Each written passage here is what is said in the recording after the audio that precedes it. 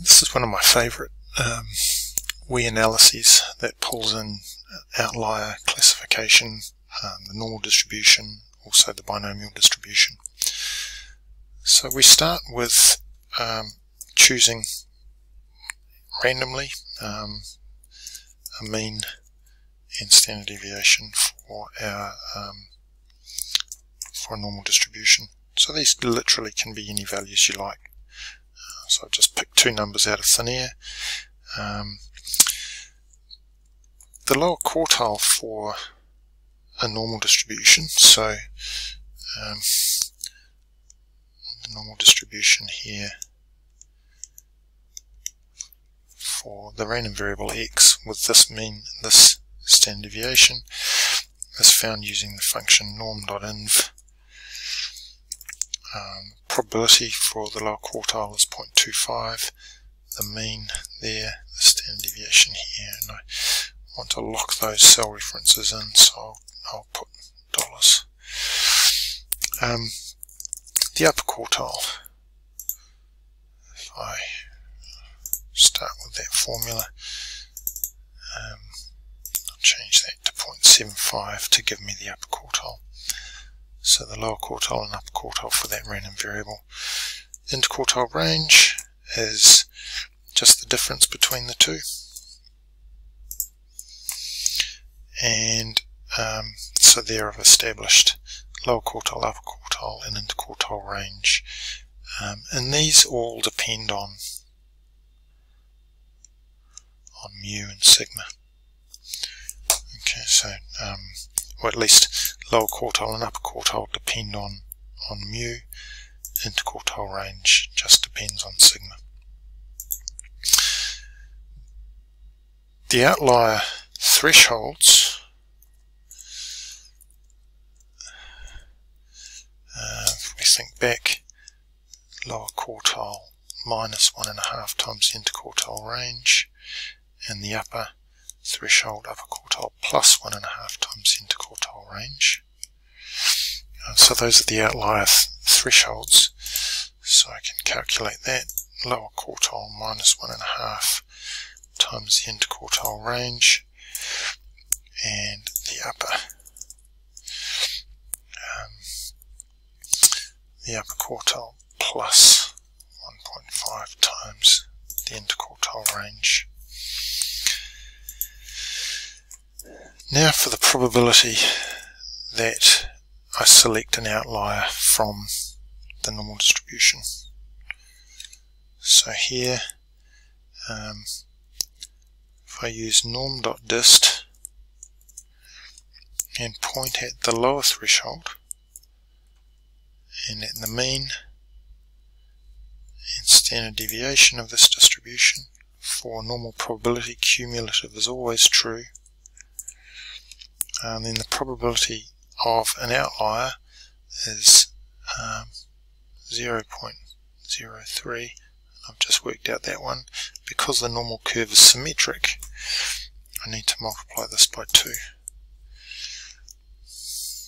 Um, actually, let me let me leave that, and I'll just, if I was to work out the upper, uh, 1 minus norm.dist, pointing at the upper threshold, mu sigma and then probability equals true, I get exactly the same value.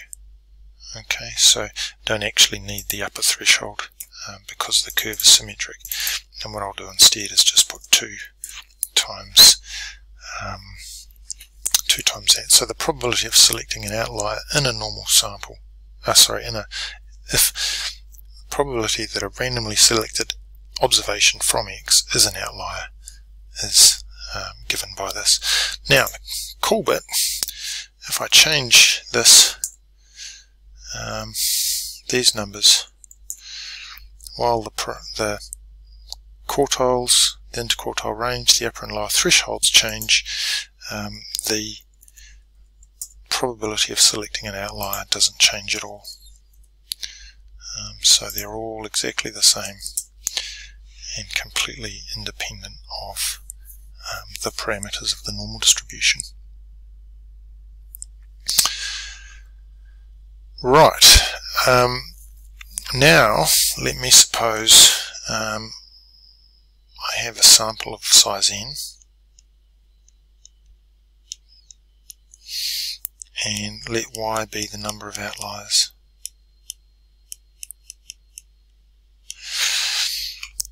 Then y is going to be binomial with number of trials n and probability of success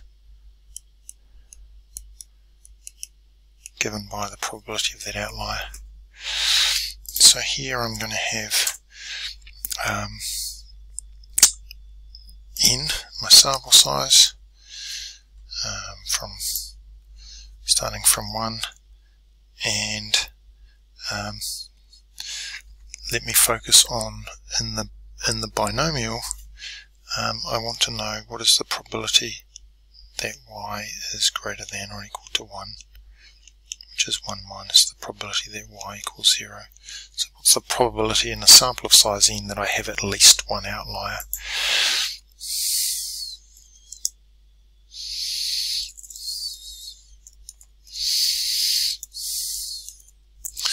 So I use the function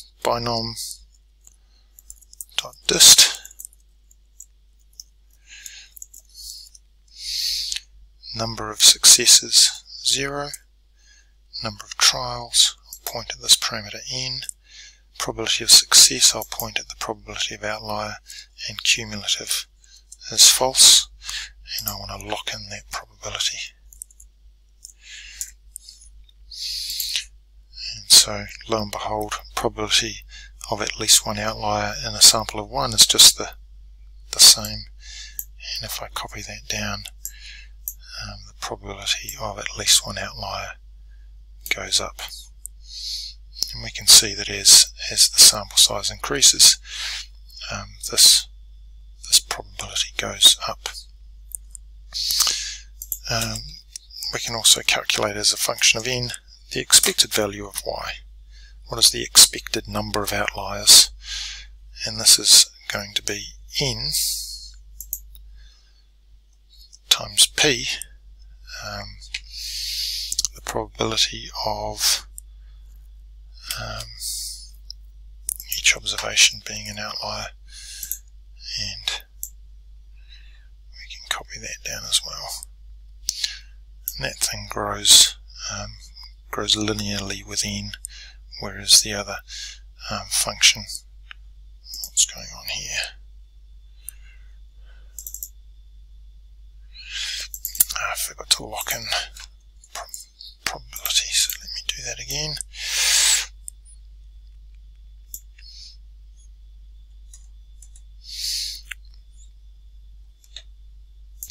Okay, I've copied those um, formulas down a bit, but let's look at a, um, a graph.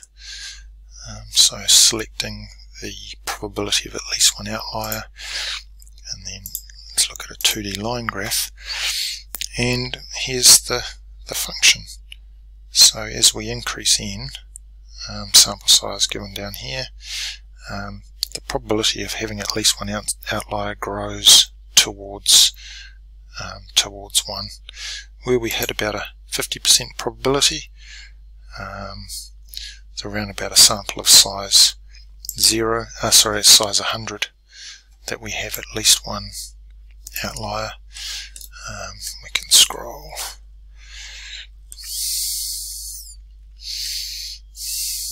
It's a terrible way of doing it, but um, somewhere in about 100 observations, there's a 50% chance that we've got at least one out outlier. But in, in any small sample, um, so samples of, of 30 or fewer, there's actually not a great chance of, of there being um, a an outlier. Um, of course, this expected value of y series.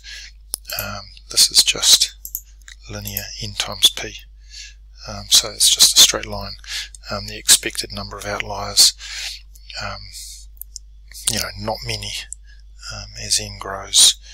Um, even a sample of 400 or something, we'd expect um, only three outliers um, if those observations are drawn from a normal. Um, let me just do one more thing again, um, just reminding that this doesn't depend on um, the parameters of that normal distribution go and check out the graph again. Exactly the same as it was before so completely independent of the